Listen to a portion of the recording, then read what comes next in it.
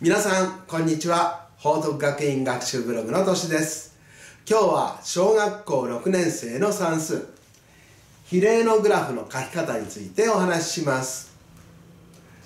水槽に水を入れた時の時間を x 分。水の深さを y センチメートルとして表にした。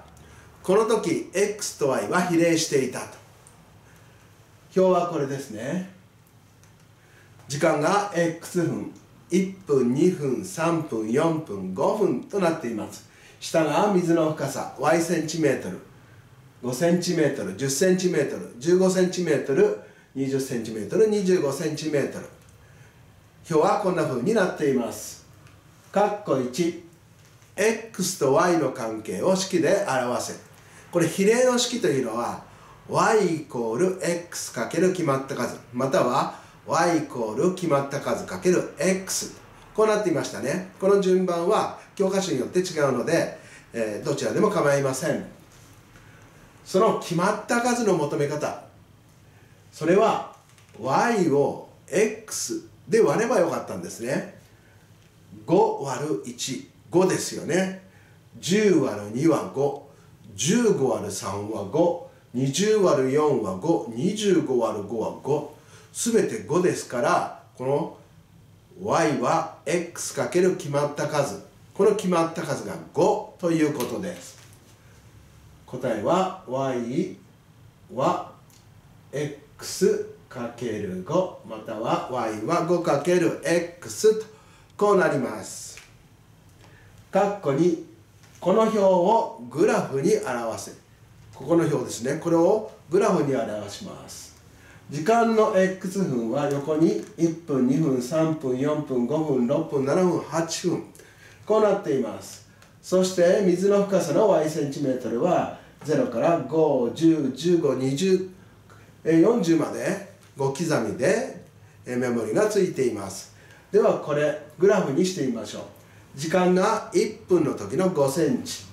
1分の時の5センチはちょっとこちらに行きますね。1分の時の5センチはここですよね。1分で5センチと。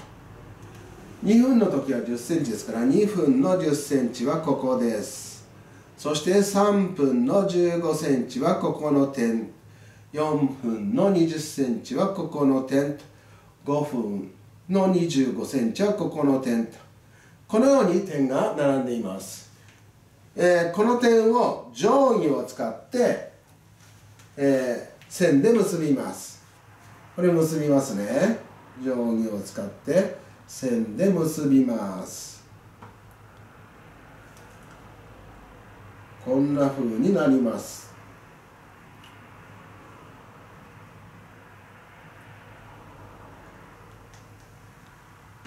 はいこれでグラフが完成しました、グラフではここではですね、えー、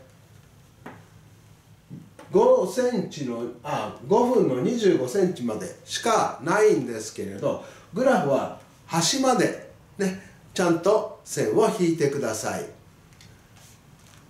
次ですね。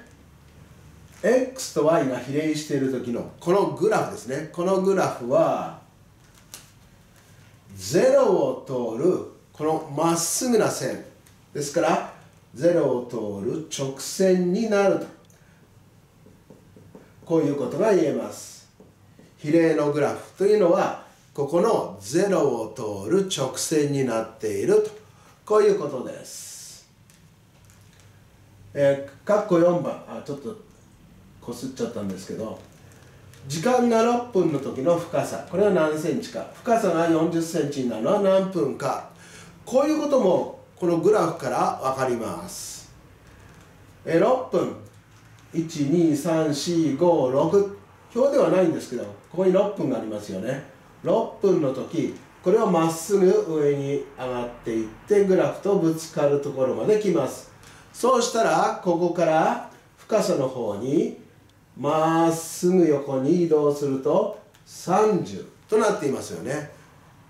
6分の時深さは30センチになるということがわかるわけですから深さは30センチメートルということになります。次は深さが40センチになるの。深さ40ってここですよね。ここの部分です。ここが40になるのはあった。今度はここから横にずっとグラフの方に移動していくとここの点ですよね。ここを時間の方に下ろしていくと8ですから40センチになるのは8分の時と。